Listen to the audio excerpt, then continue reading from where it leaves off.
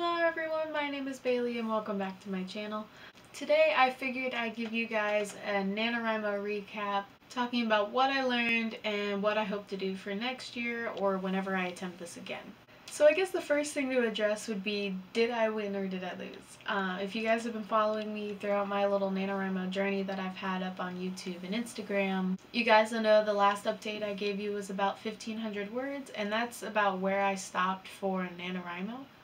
Um, I did not win, although I do not see NaNoWriMo as a failure. Um, it is my first time. I'm really proud of myself. I did 15,000 words and over that in a month. And for being a first time, you know, novelist, first time NaNoWriMoer, um, I think it's pretty well done. I mean, I didn't really ever expect to get the 50,000 words. It was just kind of like a nice goal I had in mind because I just didn't really think I was going to get that my first try. But I wasn't sure where I was going to land when I started the month. Honestly, for it being my first time, 50,000 words isn't that bad, I don't think. Um, you know, obviously this is probably the worst I will have ever done in NaNoWriMo, which means I'm at the bottom. And that's okay, because 15,000 words out of 50,000 words is still pretty high up for being my first time and being at the bottom of this. Yeah, the only way to go from the bottom is up, so this will most likely be the worst NaNoWriMo I've done. But it has also been the best one I've done so far, considering it's my first time, and I wrote 15,000 words. Like, if you sit there and dissect that, that's a lot of freaking words in a month. I commend people like Kate Kavanaugh who passed the 50,000 word mark in, like, what, day 19, she said? It's insane. I was just so proud to hear that. And then people like, oh, who was it? Winters Robin? I think, also passed her 50,000 word mark, and it's just, they're amazing. Um, and granted, people like Kate Kavanaugh, this isn't their first time, but that's insane. It just makes me hope and aspire to be like them in the future, and to hope of maybe someday that I can do that too. I'm not gonna lie, I had some misconceptions about NaNoWriMo when I first started and it's not due to anybody telling me that the, um, the wrong information or anything. It's just I thought I could handle more than I could during NaNoWriMo. And for me being in school and work and trying to get back into the condo all around the same timeline while doing NaNoWriMo, it really put into perspective how much time I was going to have to dedicate to NaNoWriMo and it wasn't as much as I wanted to. But to juggle all that and still get 15,000 words in, I'm really proud of myself.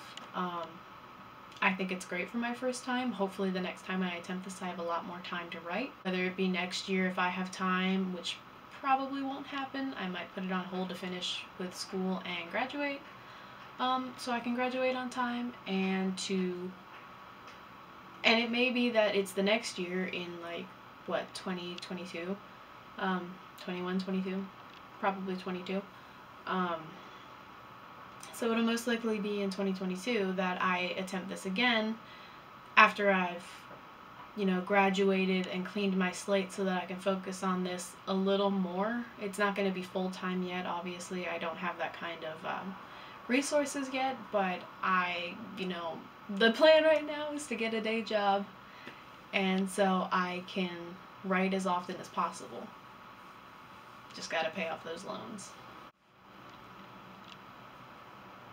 You know, I did think it was gonna be a little easier to get my words in, and I didn't really realize how much 50,000 words was. Um, it's a lot. I figured with my prep work I would have been a little more further along. But I guess really I wasn't done with zero drafting. And so basically, all of NaNoWriMo, that 15K, was about a half draft. Um, that's what I'm going to deem my half draft, at least. And then I'll be working on my first draft probably in the spring.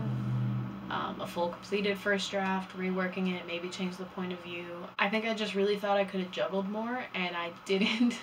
what I didn't consider was finals right at the same time as NaNoWriMo, doing the prep for finals and then finals is next week. I didn't take into account all the projects and stuff I was going to have before the end of the semester. NaNoWriMo just fell at a really bad time this year. Um, so I have high hopes for the next time I attempt this. Probably again when I graduate will be the most likely next time I attempt this. That's probably when I'm gonna attempt it again. Um, so I have a lot more time. There's no finals or anything. It's just work. And you know what really helped me was what really helped me to get to my 15,000 words, which I still deem a success, is you know uh, setting aside a lot of time and I did have to sacrifice a few days here and there for different reasons just to write, whether it be hanging out with people or like changing my homework days or something. It takes a lot of sacrificing when you're not just doing NaNoWriMo and NaNoWriMo only. But you know, I'm I was okay with that. The other thing that helped me was I found a new kind of method that I liked when I was working. I got about like halfway, a little over halfway through the month, and I was like, huh, I should have been doing this the entire time. And so I'll probably implement that the next time and into. I'll probably be continuing sprints, though I won't be in NaNoWriMo. I'll probably still write them down anyway, just to kind of like I don't know, keep up the spirit of NaNoWriMo. I think it might help me complete the book a little faster and to keep it with a better attitude. The last thing that really helped me was that I found a bunch of old zero drafts and a lot of prep work that I thought I had lost.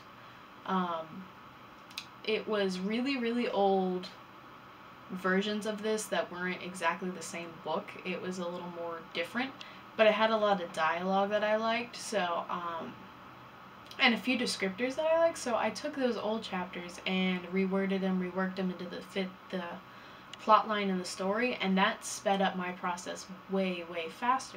It helped me really push to that 15k mark because in one weekend I was put booking past like um, 7k that weekend in the last weekend or so. So, you know, those zero drafts really helped me out. And so I think for next year, it's going to be a lot, or the next time I attempt this, it's going to be a lot more prep work and it's going to be a lot more outlining and zero drafting, um, whether it be for empathy again or it's for a new book that I try in that time.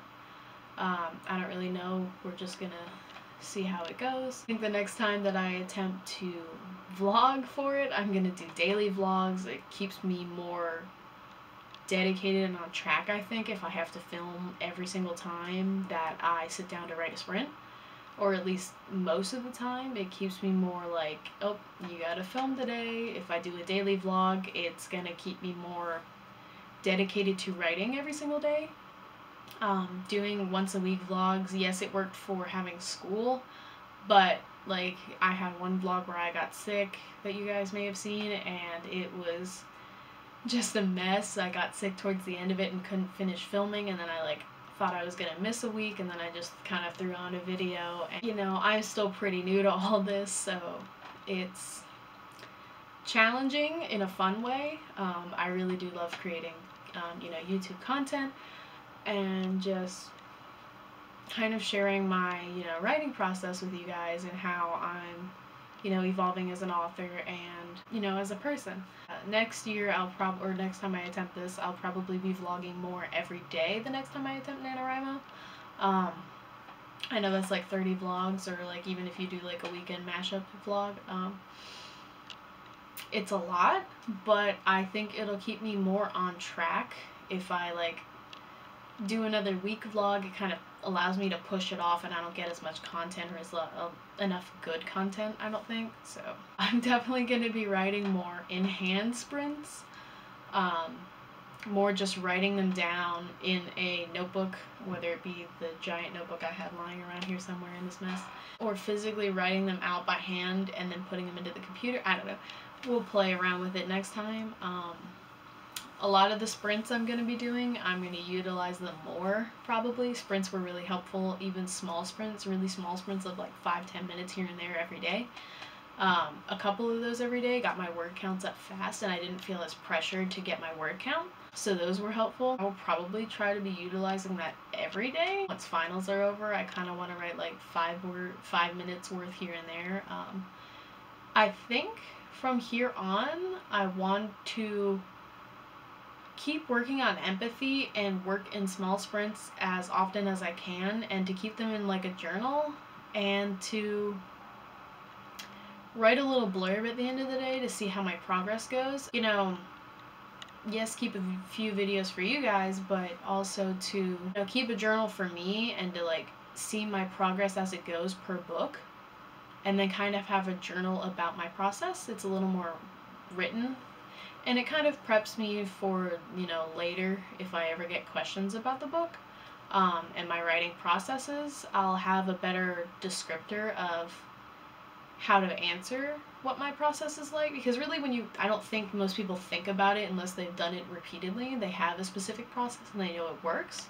Um, but you know every book is different uh, every author is different. So I don't really know what my process is yet. I'm just kind of working with what I have and what I do um, but I think that journaling will help especially if after finals I can do a little bit of writing every day even if it's like five minutes um, and I think if I have a journal, it'll keep me more honest and focused on it.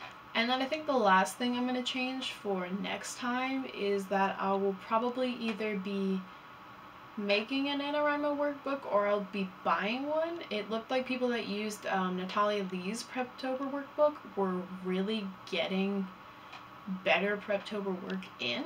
And I'd be curious to look at one of them or to um, purchase one for myself and use it for next NaNoWriMo or even this book later. Um, or to even make one myself. I don't know if that would help me. Um, it may be that I end up trying to make a Preptober workbook and I actually just be doing Preptober for, you know, empathy or another book that I'm writing. Um, kind of just depends on how it goes, I guess. But yeah, that was um, how I felt about NaNoWriMo this year. I'm excited to do it again and yeah, let me know in the comments below um, how your NaNoWriMo went, everybody. Um, if you participated in NaNoWriMo. If you didn't, you can say why or why not. And be sure to hit the bell icon to get notifications about my videos and to subscribe to my channel to make sure that you get more content like this and the future content I'm going to be creating. Um, hopefully next year I'll be, or next semester, I will be creating more YouTube content for you guys because I'll have a little bit more time to dedicate towards YouTube and my writing. So, bye.